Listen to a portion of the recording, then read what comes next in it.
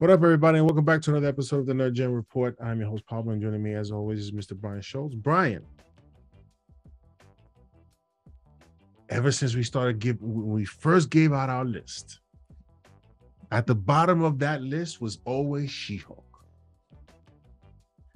and we haven't let up ever since. In fact, it's gotten even more and more brutal as the months passed by, waiting for this show to make its arrival on our TV screens. First episode is out.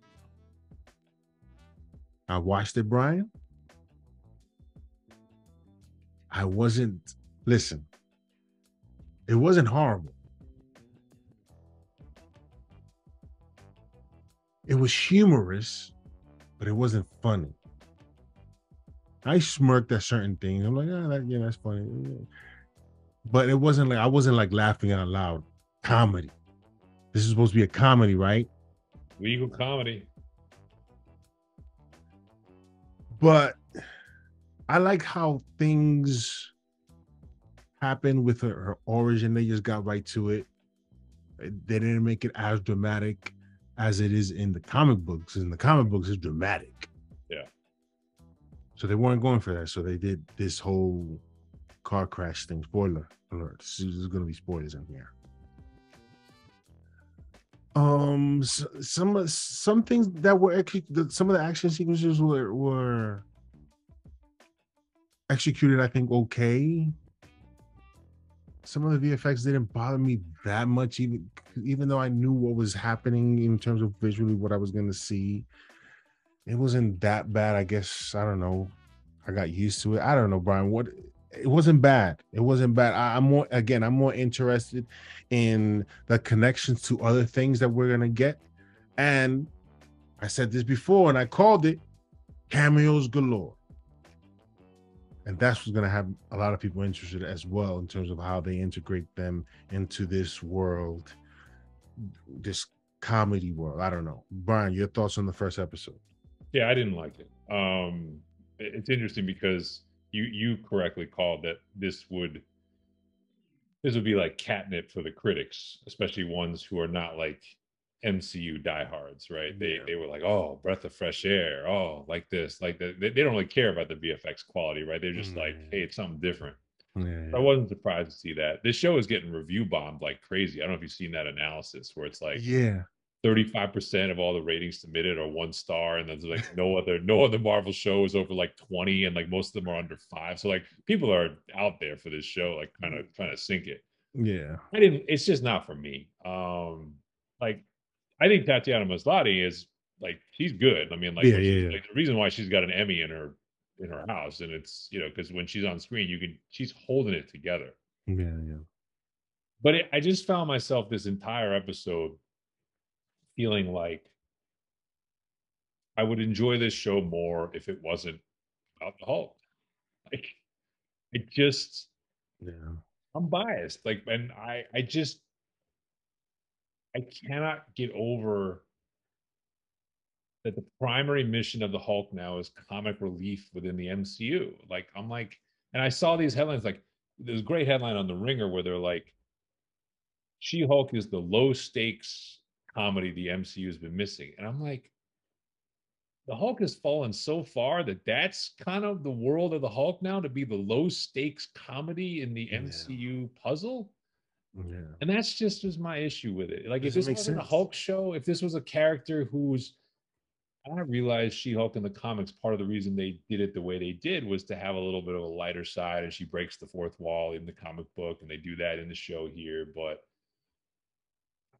I just couldn't get past it. I was like, this watching Hulk mix drinks on the beach and like it's just like it's the wrong character for this type of motif. And I you can just tell like I'm just gonna be more and more annoyed as we go through this show.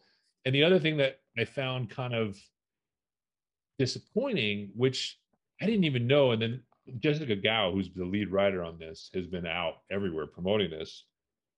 So apparently this is not the pilot that they originally shot. And I remember watching it and being like, it felt very all right, we're going to break the fourth wall, but then we're going to do the origin story. And then it almost felt like they had to give you a Hulk on Hulk fight. So they gave it to you. And I'm like, I don't know that I needed that, but I guess you wanted to show me that. And then they end with her in the courtroom. And then I come to find out that like that wasn't what they wanted to do, but Marvel made them do it. And so apparently what you saw in episode one, some of it originally was in the finale of the show. Oh. And I was like, well, that's not a good sign. If you took part of your intended ending of the show and the studio said you have to put it at the beginning, I don't even know what's coming next, but that doesn't make me feel good. So I just was like, I think I know what I'm in for. I think it's going to stay at the bottom of my rankings. I will watch every minute of it, and I don't think I'm going to think twice about it when it's done. I just didn't really enjoy it that much, even though I think she is very charismatic and you know, yeah. she I could watch do something in this universe. But I hear you. I hear you. I mean, I listen. I listening to the Hulk talk for more than um, 20 seconds is annoying.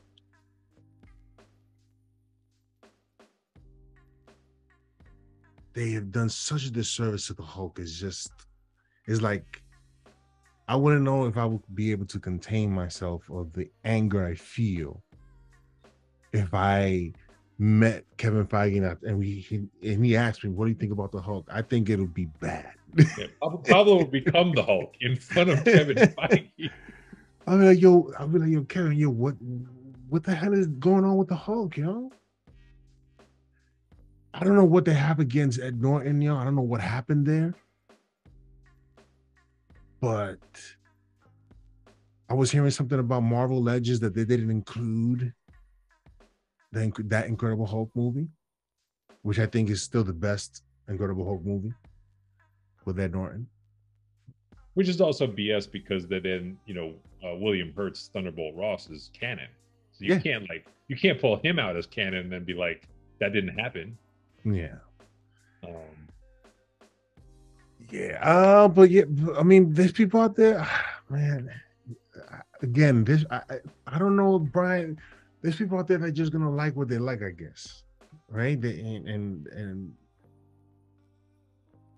this just wasn't for me. But I I I I watch it because there's little things that I can enjoy watching from it in terms of the connection to the the the, the universe the overall and some of the characters that could be cam- that cameo in there. You know what i'm saying? Those are the things that have me interested in. Yeah i mean i think also i think they made a good formatting decision. I think having this be short having it be 30 minutes is is is a smart move like I, I was watching this episode being like if this was another 15 to 20 minutes i think i would hate this like three times more than i do it's like it got in it got out and you know i think that's a nine episodes, 30 minutes is is a wise choice. I think you should bribe. Has your has your wife watched it? No, although I'm curious to show it to her. I have a feeling she's gonna like it a lot better than anything else. I, I think so too. Her. I think so too. I think so too. Um, but yeah, let us know in the comment section below what you guys think of She-Hulk. Can we also talk about so Jessica mm-hmm. Gao? You mentioned the cameos. Can we talk about this? Yeah, yeah. Okay. Are you as terrified as I am about the Daredevil statements that they've made? That this is a we're going to explore Matt Murdock's light side on this show. I just keep having images of like what they did to the Kingpin and Hawkeye times a hundred. It's hard for me to say anything bad about Charlie Cox's Daredevil. I Of course, I'm concerned, but I have to wait and see what how they do this. And it can't be. Uh, this is the thing that you know. It makes me wonder, Brian. You talked about, oh, Marvel said they made us do this. Is Marvel turning into the WB? I well, I made the case they're not as far apart as people want to think, but uh, I know. Right just, second. just, just, just one is doing it better than the other. Or one has a lot more content than the other, but yeah, it's yeah.